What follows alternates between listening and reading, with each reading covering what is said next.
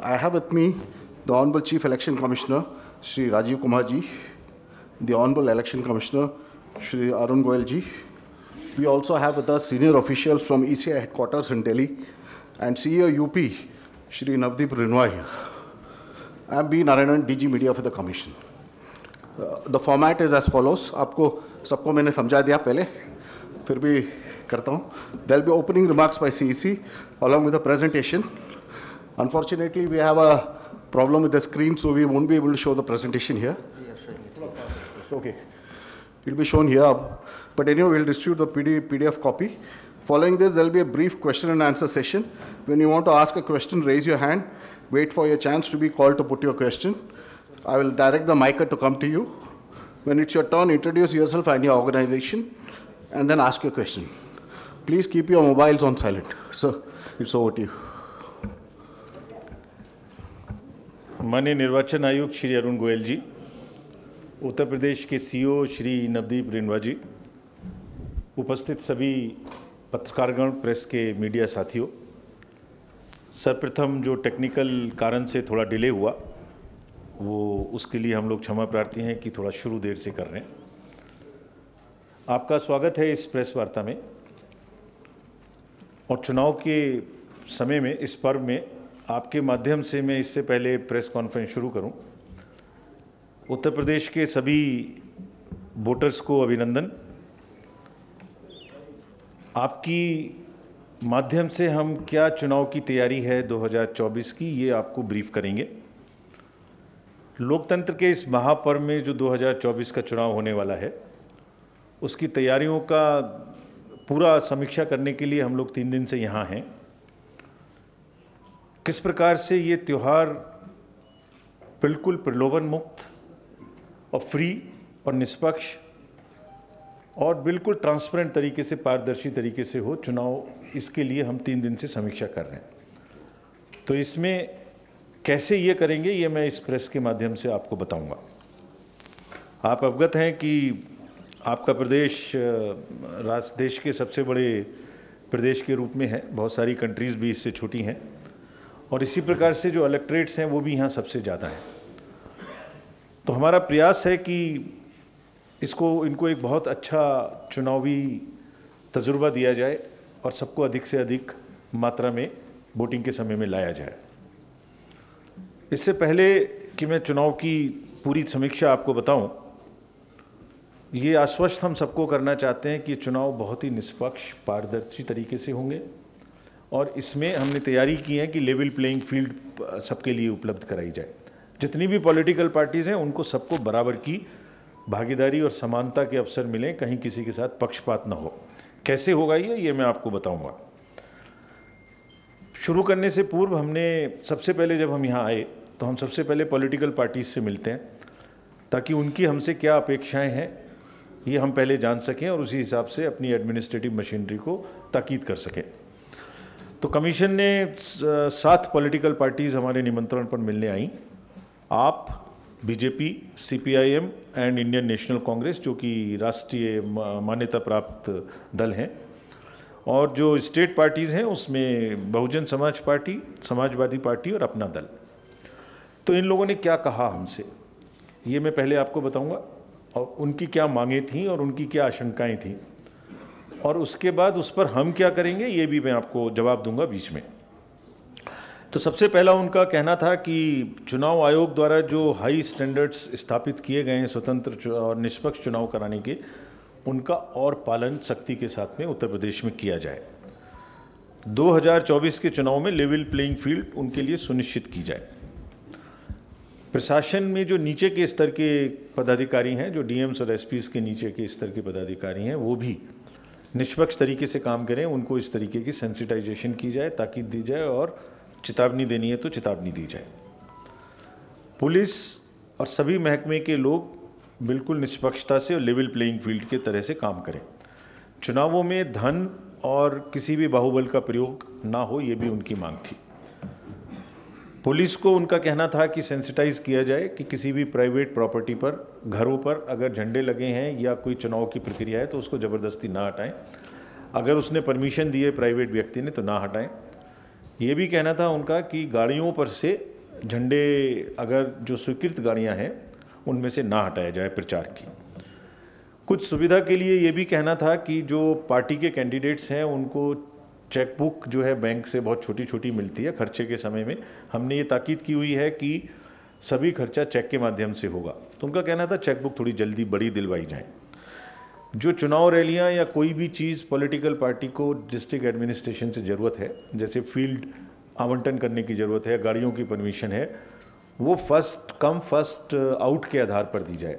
ऐसा नहीं कि मैंने पहले ग्राउंड की एप्लीकेशन दी और मेरे बाद कोई आया, उसको आपने दे दिया।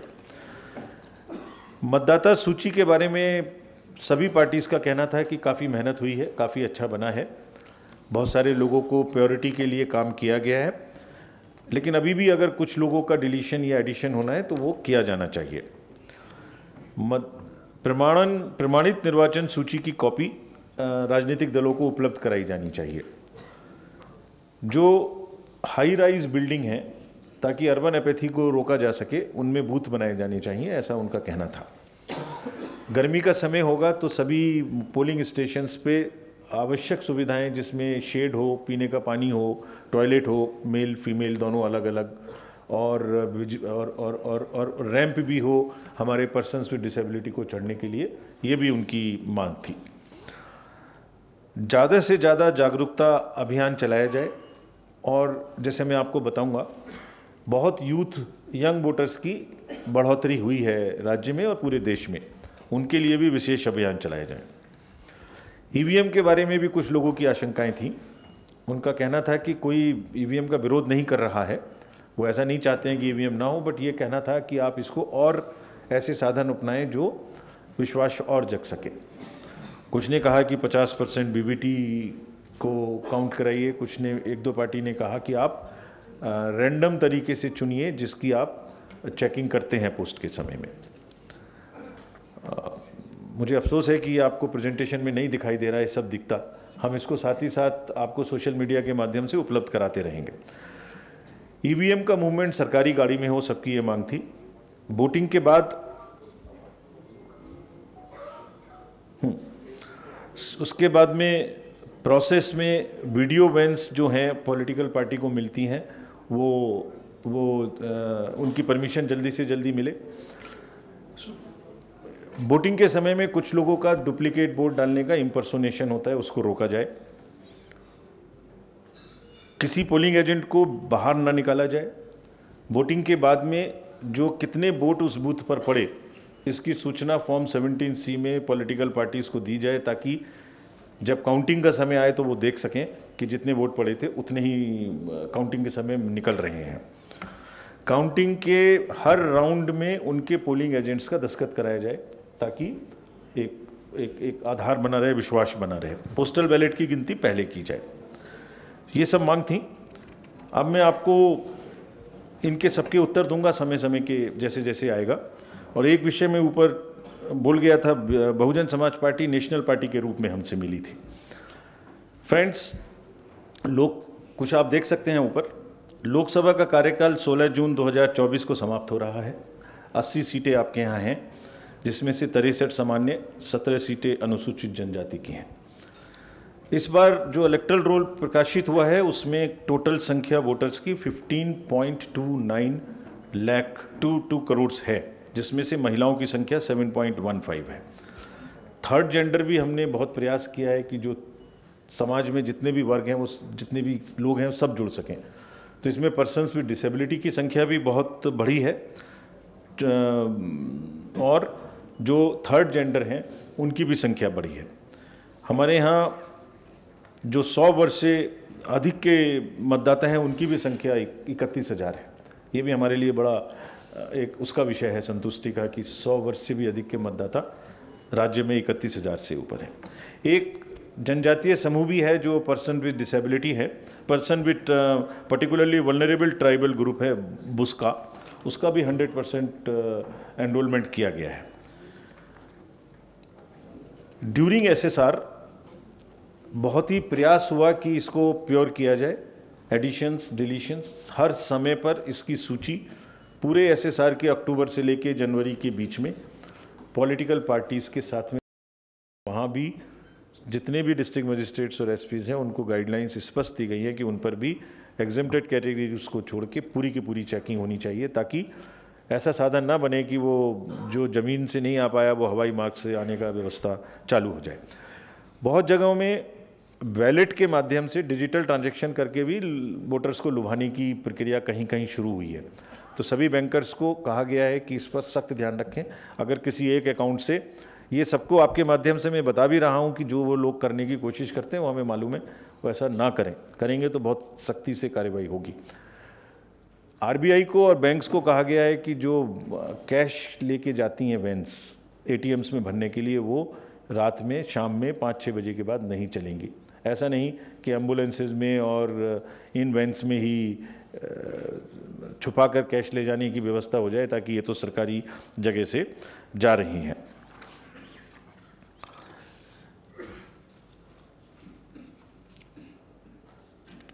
जो जो जो हमारे कैंडिडेट्स ने कहा था, पॉलिटिकल पार्टीज़ ने, कि उनको डिजिटल ट्रांजैक्शन करने में दिक्कत होती है तो बैंकों को ताकीद की, कर दी गई है आज। उनका आंसर दे रहा हूँ मैं, कि उन्हें अप टू पचास पचास वाली चार चेक बुक्स जिस दिन वो अकाउंट एक एक हर कैंडिडेट को एक नया अकाउंट खोलना पड़ता है, जब चुनाव में भाग लेते हैं। उसी से खर्चा करते हैं वो। और हमारी डायरेक्शन है कि सारा खर्चा उन्हें चेक से करना है। और चेक ख़त्म हो जाते हैं क्योंकि छोटा छोटा खर्चा भी है। तो 200 चेक की चेकबुक उन्हें एक बार में मिलेगी और उसके बाद और जितना चाहेंगे वो पर्सनलाइज होके उनको मिल जाएगी। डीएम्स और एसपीस को बहुत सख्त हिदायत दी गई है कि उन्हें लेवल प्लेइंग फ़ील्ड एस्टेब्लिश करनी ही करनी है, इसका कोई विकल्प नहीं है। किसी भी पार्टी के साथ में ऐसा व्यवहार नहीं होना चाहिए जो निष्पक्ष नहीं है। जो डीएम और एसपी के नीचे के जो पदाधिकारी हैं, वो भी ऐसा ही करें, ये करने की ज़िम्मेदारी उनकी है। हम डीएम और एसपी को जिम्मेदार ठहराएँगे, अगर उसके नीचे के पदाधिकारी भी किसी तरीके का पक्षपात करेंगे तो। ईवीएम का मूवमेंट सिर्फ़ सरकारी गाड़ियों में होगा, ये भी पॉलिटिकल पार्टीज़ ने डिमांड उठाई थी। सभी वोटर्स को समय से पहले, चार, पाँच छः सात दिन पहले वोटर इन्फॉर्मेशन स्लिप्स डिस्ट्रीब्यूट की जाएँगे। ये भी एक रिक्वेस्ट करने का तरीका है कि आपका नंबर ये है और आप आइए। और जो उसको ना मिले, सबको मिलेगी वैसे तो जिसको ना मिले वो हमारे नो योर वोटर हेल्पलाइन पर देख भी सकते हैं। बूथ्स को बहुत अच्छे तरीके से तैयारी करने के लिए कहा गया है। ख़ासतौर से उन बूथ्स को जहाँ पर एक ही लोकेशन पर पाँच, सात, दस से ज़्यादा बूथ्स हैं। सभी जो जो ये भी मांग थी, जब वोटिंग ख़त्म हो जाएगी तो फॉर्म 17 सी में कितने वोट पड़े, इसकी निश्चित रूप से सभी एजेंट्स को कॉपी दी जाएगी। ये भी एक उनकी मांग थी।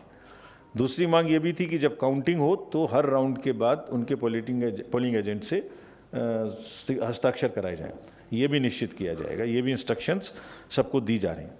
एक ये भी मांग थी कि पोस्टल बैलेट्स की गिनती पहले की जाए। ये मांग को भी माना गया है। ये भी पहले ईवीएम से पहले उनकी काउंटिंग पहले शुरू की जाएगी। इस बार जितने कर्मचारी पोलिंग ड्यूटी में लगेंगे, वो सबको वोट डालने की सुविधा पोस्टल बैलेट से फैसिलिटेशन सेंटर में दी जाएगी। ये भी एक इस बार की नई चीज़ है। फर्जी खबरों का एक बहुत बड़ा कारोबार चलता है चुनाव के समय में, या अदरवाइज़ भी आजकल चल रहा है। इस पर सभी डिस्ट्रिक्ट्स को निर्देश दिए गए कि सख्त कार्रवाई की जाए। सख्त से मतलब क्या है? अगर अफवाहें उड़ाकर माहौल को ख़राब करने की कोशिश करेंगे तो एक डेजिग्नेशन कर दिया गया है, एक सेक्शन 79 है आईटी एक्ट की, उसके अंतर्गत एक नोडल ऑफिसर अपॉइंट हो गए इस राज्य में भी सब राज्यों में अपॉइंट कराए जा रहे हैं। तो अपनी बात को सोशल मीडिया में कहने के लिए स्वतंत्रता है, फ्रीडम ऑफ़ स्पीच है देश में, उसका पालन रेस्पेक्ट करते हुए। उसका मतलब ये नहीं है कि अफवाह फैलाना और झूठ फैलाना भी उसका पार्ट है। तो दोनों के बीच में सामंजस्य स्थापित करते हुए, अगर कोई अफवाह ऐसी फैलाएँगे जिससे पब्लिक ऑर्डर डिस्टर्ब हो सकता है या झूठ फैल सकता है तो उन पर जो भी कानूनी कार्यवाही आईपीसी में या आईटी एक्ट में निर्धारित है by following the entire due process ऐसा नहीं कि किसी को ज़बरदस्ती कर लेंगे। फ्रेंड्स टू सम अप देश का बहुत बड़ा चुनाव है। 960 मिलियन, यानी छियानवे करोड़ मतदाता, करीब 12 लाख मतदान केंद्र और करीब करीब डेढ़ करोड़ लोग जो हमारे साथ इसमें मतदान कराने में जुड़ते हैं। पूरे वर्ल्ड में ऐसी कोई एक्सरसाइज नहीं है मैन और मटेरियल के इतने बड़े मूवमेंट की। और आपका राज्य तो उसमें बहुत ही बड़ा है। हम इसको बहुत निष्पक्ष तरीके से, बहुत शांति तरीके से और बिना हिंसा के, बिना प्रलोभन के कराने के लिए पूरी तरीके से दृढ़ संकल्प हैं और तैयार हैं। पूरी भी तैयारी हमारी तैयार है। आपके माध्यम से मीडिया हमारा सबसे बड़ा एल है पूरे चुनाव प्रक्रिया में। ये बात मैं कहता हूँ, आपके भी सामने कह रहा हूँ। कोई प्रोसेस ऐसा नहीं है जिसमें हम आपको अलाउ नहीं करते। आपकी, आपके माध्यम से ही हमें बातें पता लगती हैं कि क्या गलत है, क्या हमें और सुधारना है। और आप ही के माध्यम से हम वोटर से बात करते हैं। तो आपके नेचुरल एलाई होने के नाते मैं आपके माध्यम से पुनः रिक्वेस्ट कर रहा हूँ, अनुरोध कर रहा हूँ, आग्रह कर रहा हूँ कि जितने भी वोटर्स हैं, उत्तर प्रदेश के वो भारी मात्रा में बाहर निकलें वोटिंग करने आएँ। और जो ये एक एक अवांछनीय स्थिति बनी हुई है कि वोटिंग की परसेंटेज कम से कम सात आठ नौ परसेंटेज पॉइंट नेशनल एवरेज से कम है। 2024 के चुनाव में वो पूरी हो। यंग लोग, हर वर्ग के लोग हर जगह से आगे आएँ। वोटर की लिस्ट को बनाने में भी सबके साथ में बहुत काम किया गया है। लोगों ने स्लम्स में जाके ईंटा भट्टा में जाके, बहुत जगह में वोटर्स को नया नया बनाया। मल्टी स्टोरीज़ में, शहरों में, गाँव में सब लोग आएँ। और आपके माध्यम से अनुरोध है कि इस इलेक्शन में बढ़ चढ़ के त्यौहार में भाग लें। धन्यवाद। Thank you sir for those detailed remarks floor is open for questions आप पहले जो आप इनके पास माइक ले जाइए फ़र्स्ट और उनके पीछे जो है वो सेकंड हाँ आप आपके पास आ रहा है माइक पीछे हाँ। सर मैं हिंदुस्तान अखबार से हूँ संतोष वाल्मीकि मेरा नाम है। आ, मेरा सवाल ये है कि आपने तीन दिन यहाँ बैठकें की समीक्षा की। आयोग उत्तर प्रदेश में अब तक हुई लोकसभा चुनाव की तैयारियों से पूरी तरह संतुष्ट है या नहीं? और अगर कोई खामी है तो उसे दूर करने के लिए क्या प्रयास किए गए हैं? और साथ ही संभावित चुनाव कार्यक्रम अगर बता सकें तो क्या होगा? ठीक है आपके पीछे जो है कौन? हाँ। ये मैं रोहित मिश्रा हूँ नवभारत टाइम से। पिछले कुछ समय से एक बात शिकायत की जा रही है कि जो राजनीतिक पार्टियों को मतदाता सूची दी जाती है और जो पोलिंग सेंटर पर मतदाता सूची होती है, दोनों में काफ़ी फ़र्क होता है। इस पर भी कुछ बात राजनीतिक पार्टियों ने की है क्या? और अगर की है तो इसका समाधान क्या होगा? ठीक है, अभी इस साइड से लेंगे। आप, मैडम सेकेंड रो में जो है, आपको माइक दे दीजिए उनको। उसके बाद आपके पीछे जो हैं रो में, वो होंगे। हाँ जी, मैं सुमन गुप्ता, जनमोर्चा अखबार से हूँ। मैं ये जानना चाहती हूँ कि खासकर जब पोलिंग हो जाती है, उसके बाद जैसे 2022 के हम लोग ने इलेक्शन देखे तो उसमें एक ऐसी स्थिति हो जाती है, खासकर ईवीएम के ट्रांसपोर्टेशन को लेकर के? और हम जर्नलिस्ट हैं और हमको प्रॉपर वे में ये इन्फॉर्मेशन नहीं मिल पाती है, क्योंकि उस ईवीएम के ट्रांसपोर्टेशन को लेकर के ये समस्या आती है कि ये ईवीएम यहाँ ले जाई गई, वहाँ ले जाई गई, फिर वो प्रॉपर वे में ये नहीं आती है कि ये कौन सी ईवीएम थी? ये स्पेयर में रखी गई ईवीएम थी खराब ईवीएम थी या इस्तेमाल की गई ईवीएम थी तो इसलिए इस पर भी एक मैं समझती हूँ कि हम जर्नलिस्टों को भी एक प्रॉपर वे में जानकारी दी जानी चाहिए क्योंकि इसके कारण बहुत बड़ी भीड़ लॉ एंड ऑर्डर की स्थिति पैदा होती है और प्रॉपर वे में इंफॉर्मेशन ना होने के कारण हम लोग के सामने भी समस्याएँ आती हैं कि हम खबरों को कैसे टैकल करें। थैंक यू और दूसरा सवाल एक साथ एक और जोड़ना चाह रही थी मैं बहुत छोटा सा है। छोटा सा ये है कि अभी आपने कहा कि बॉर्डर पे और स्टेट बॉर्डर और इंटरनेशनल बॉर्डर को आप सीज करेंगे जिससे वो प्रभावित ना हो। लेकिन इन दिनों जो हम टेक्नोलॉजी की बात करते हैं तो बहुत सारी दूसरी जगहों से भी प्रभावित होने की बातें आती हैं और दूसरे देशों में भी ऐसी बातें आई हैं। तो आप हिंदुस्तान के इलेक्शन को कैसे दूसरे देशों के इन्फ्लुएंस से कैसे बचाएँगे? ये दो मेरे सवाल हैं। आपके पीछे जो है उस साइड में check shirt dark check shirt मैं अनिल त्रिपाठी, युग जागरण अखबार से। नंबर एक चीज़ तो जो मतदाता सूची है, अंतिम अनंतिम प्रकाशन हो गया, उसमें नाम है आदमी का। जब मतदान केंद्र पर जाता है तो वो क्यों वापस लौटता है, उसका नाम वहाँ नहीं रहता? क्या वजह है? दूसरी बात, आंकड़ा आपका बहुत अच्छा है। ज़मीन पर तो अच्छा दिखना चाहिए, ज़मीन पर तो अच्छा दिखता नहीं है उस समय। मौके पर ये जो अभी मैम ने कहा कि ईवीएम का कैसे जा रही है, कहाँ जा रही, कहाँ रखी है, प्रत्याशी वहाँ झुंड लगाए खड़ा है, किसी को अंदर जाने दिया जाता है, किसी को नहीं जाने दिया जाता, ये तमाम समस्याएँ हैं तो आपका ज़मीन पर दिखना भी चाहिए, ऐसा मेरा मत ठीक है thank you sir want to reply sir? Uh, yeah, more questions. ठीक। Sir this is Kazi Faraz from PTI and मैं ये जानना चाहूँगा कि political misinformation social media पे इतना बढ़ रहा है तो उसको लेके क्या आप लोग का सोशल मीडिया प्लेटफॉर्म से टाइप हुआ है उसको फैक्ट चेक करने के लिए? और या फिर जो इंडिपेंडेंट फैक्ट चेकर्स हैं I F C N certified organisation हैं उनके साथ आप लोग कोई कैंपेन चलाने वाले थैंक यू इधर से प्रश्न लेता हूँ पहले। So you want to take or schedule schedule तो अभी आपको नहीं बता सकते। लेकिन जब भी बताएँगे सबसे पहले पत्रकारों को ही बताएँगे। और किसी को पता नहीं लगेगा आप ही के माध्यम से सबको बताएँगे मैं बताता हूँ उसके बारे में। पहले जो दो प्रश्न इधर से आए उनको लेना चाहता हूँ। एक आपने ईवीएम के बारे में पूछा कि वो कहीं भी जा सकती है। और एक आपने पूछा कि ज़मीनी चीज़ दूसरी है और आंकड़ों की चीज़ दूसरी है।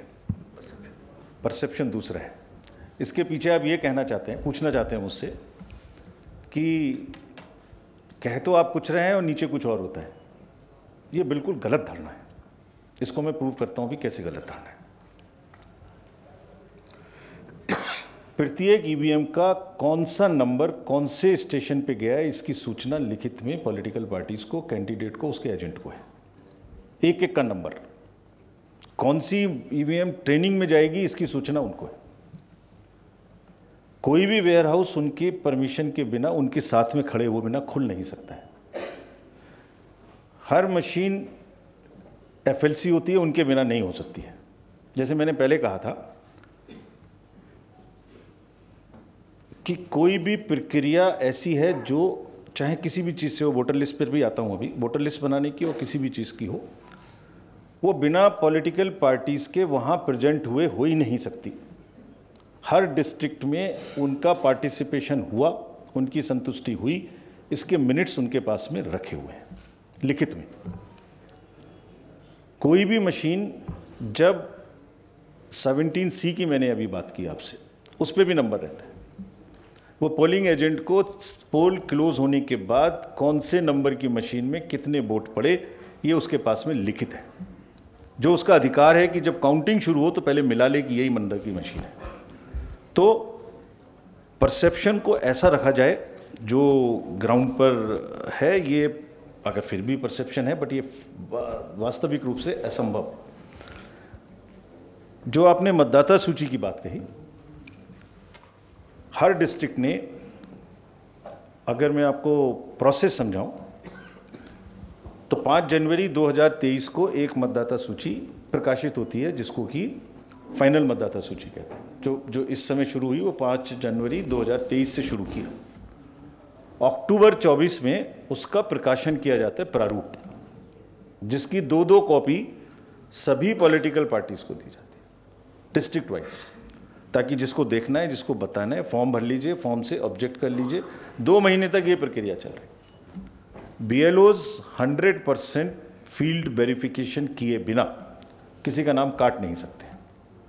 जितने नाम कटेंगे उसकी सूचना और जितने नाम जुड़ेंगे उसकी सूचना प्रकाशन हर वीकली बेसिस पे बूथ अपने ए आर ओ को करना है। एक महीने पर उसकी वेबसाइट पे डालना है। बीच में मीटिंग्स पॉलिटिकल पार्टीज़ के साथ करनी है। कम से कम दो या तीन मीटिंग्स हर डिस्ट्रिक्ट में सबके साथ में हुई हैं। तो ये बहुत प्योर है। अगर फिर भी फिर भी ऐसा लगता है कि किसी बूथ पर, किसी जगह पर, किसी कॉन्स्टिट्यूंसी में प्रॉब्लम है तो बताएँ, उसकी फिर से जाँच करेंगे जिसने गलती की, उसके ऊपर में भरपूर कार्यवाही करें। सोशल मीडिया का मिस इन्फॉर्मेशन एक गंभीर विषय है, जिसके बारे में मैंने पहले भी कहा। सेक्शन 79 में उसको टेक डाउन करने की अनेबलमेंट है एक्ट कहता है। सेक्शन 69 आईटी एक्ट में ये भी कहता है कि आप उस वेबसाइट को बंद करा सकते हो अगर बहुत ही भ्रामक है। तो जैसे मैंने पहले कहा कि सबका अधिकार है कि वो अपनी बात को रखें तो हमें इतना भी टाइट नहीं होना चाहिए कि वो हम अभिव्यक्ति की ही पर ही एक रोक लगा दें। अगर कोई हमारा क्रिटिसिज्म करना चाहता है, जैसे आप अभी कह रहे, पूछ रहे थे प्रश्न तो उनको अधिकार होना चाहिए, करें और हम जवाब दें। लेकिन अगर कोई अफवाह करेगा तो उसके लिए सफिशेंट रीजन सफिशेंट तरीका है। हर डिस्ट्रिक्ट में कंट्रोल रूम बनाया जा रहा है। इंटीग्रेटेड जिसमें social media webcam one nine five zero एक हमारी और वो है टेलीफोन लाइन जिस पर कोई भी शिकायत किसी भी समय करें या कोई सूचना लें सी विजिल इन सब का फ़ीड वहाँ इकट्ठा रहेगा और त्वरित कार्रवाई वो करेंगे, जिसको पीछे के पाँच इलेक्शंस में लगातार किया गया है। जो तैयारियाँ यहाँ हैं, उसमें लॉजिस्टिक्स की तैयारियों से आयोग पूरी तरह से संतुष्ट है। यहाँ भी और दूसरे राज्यों में भी जहाँ हम जा रहे हैं सब तरीके की तैयारी हुई है और बहुत सख्त तरीके से ट्रेनिंग हुई है सबकी। और कभी आपको थोड़ा सा समय मिले तो हमारी वेबसाइट पे जाइए, उसको भी नया किया गया है। वही जिससे कि आपको ज़्यादा से ज़्यादा चीज़ मिले। किस पदाधिकारी को क्या काम करना है, कैसे पॉलिटिकल पार्टीज़ को जोड़ना है, हर मैनुअल में स्पेसिफिक लिखा हुआ है। आप जब वेबसाइट पे जाएँगे तो मेनू में जाइए, नीचे ई बुक्स मिलेंगी आपको। उसमें सर्च करने का भी मौका है आपको। आप लिखिए कि मैं ये पूछना चाहता हूँ जवाब देगी आप। तो उससे संतुष्ट है। एक राउंड और फिर फ़्लाइट है। ठीक है। एक राउंड अभी लेंगे। इस साइड से शुरू करेंगे। ये जो है सज्जन हाँ। उसके बाद आप लोग को लेंगे। हेलो हाँ। मैं राघवेंद्र पांडे सर रिपब्लिक भारत से। सर एक सवाल ये है कि जो वोटर लिस्ट को लेकर के है कि गाँवों में भी लोगों के पास वोटर लिस्ट है वही लोग जब शहरों में जाते हैं तो वहाँ भी कुछ छः महीने या साल भर रहने के बाद वहाँ भी बनवा लेते हैं।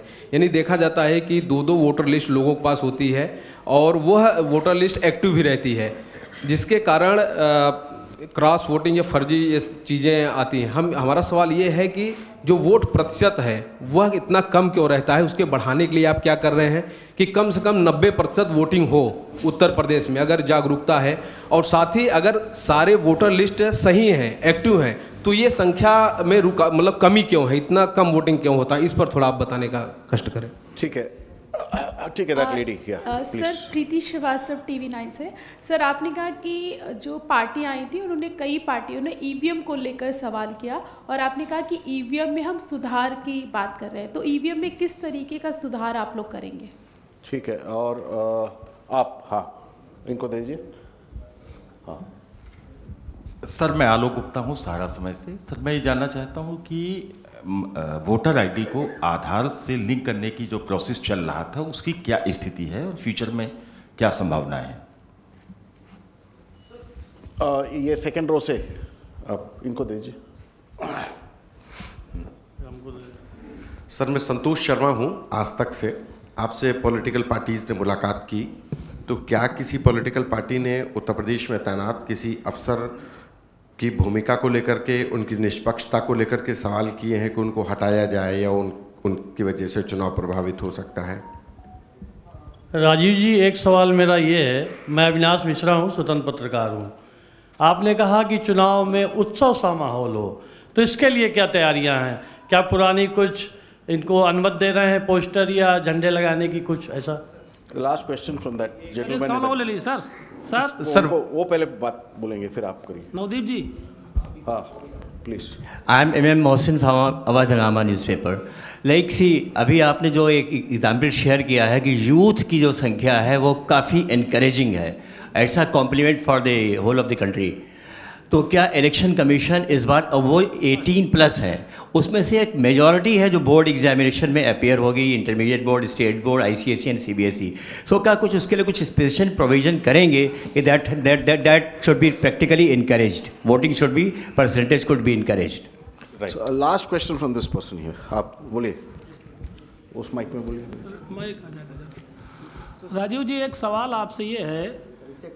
सर मैं आज अखबार से सुरेश यादव सर 2019 के जो लोकसभा चुनाव हुए थे उसमें हेलो? जी जी जी। 2019 के जो चुनाव हुए थे उसमें हवाई मार्ग और ये उत्तर प्रदेश के बारे में पूछ रहा हूँ सर।